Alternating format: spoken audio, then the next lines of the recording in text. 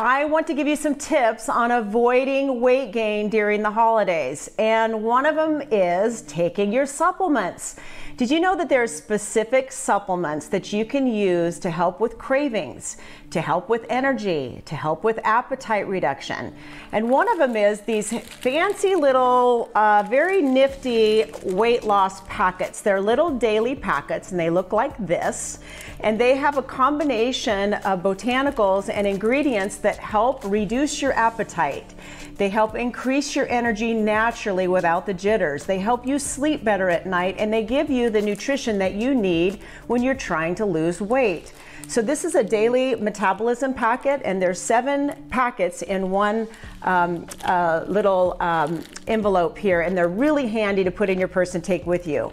Another one is one called cravings. I love this one because it raises a brain chemical called norepinephrine, which cuts cravings. So if you're really ODing on chocolate or sugar, this is the one you want. It does get to the base of the problem, which is the brain chemical that says that you need to have that stuff.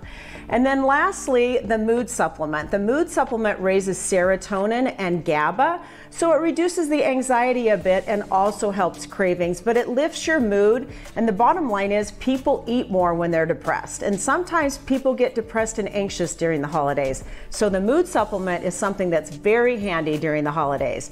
All three of these can be purchased at One Peak Medical, and uh, anyone can come in and pick them up. That's the supplements for avoiding weight gain during the holidays.